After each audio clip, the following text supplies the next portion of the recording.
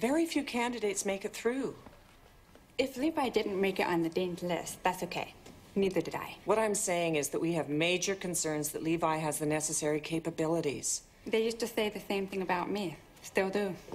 Because of the abuse he's suffered, he's a bit schizophrenic. He's undisciplined, and he has a tendency to run away. I've known since I first saw him. I want Levi.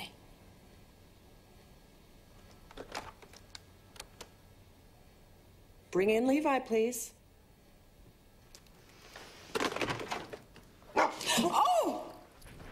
Oh, Levi, it's so good to see you again, too. Among his other deficiencies, you should be aware that he has a problem with loud noises. He tends to shut down. We've got a bit of a drive ahead of us. How is she in the car? All the dogs are trained not to react in the car. If someone honks at you, the last thing you need is a 60 pound golden retriever in your lap. With him, who knows? Don't honk and don't drive in traffic. Good luck.